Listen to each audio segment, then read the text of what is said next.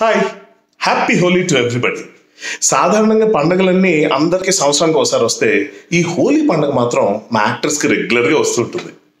నేను జోక్ చేయట్లేదండి నిజంగా చెప్తున్నా. షూటింగ్ అని మేము రెగ్యులర్గా రంగులు వేసుకుంటూ ఉంటాం కదా.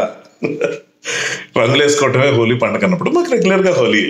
అయితే ఈసారి హోలీని కొంచెం వెరైటీగా సెలబ్రేట్ చేసుకుంటే ఎలా ఉంటుంది? వెరైటీ అంటే ఏంటో ముందు చెప్తా. నాకు ఈ మధ్య ఒక విషయం తెలిసింది. సన్ స్కాల్డింగ్ అంటే సన్ ట్యాన్ మనకు అయినట్టు సన్ వల్ల మొక్కలు కూడా ఎండిపోయి పగిలిపోయి అలా అయిపోతుంటాయి. వాటిని దాని నుంచి కాపాడడం కోసం మీరు కనుక నోటీస్ చేస్తే హైవేస్లోని చాలా చెట్లకి మొక్కలకి తెల్లని రంగు వేసి ఉంచుతారు. దానివల్ల ఇన్సెక్ట్స్ కూడా వాటికి పట్టకుండా చాలా ఆరోగ్యంగా ఉంటాయంట.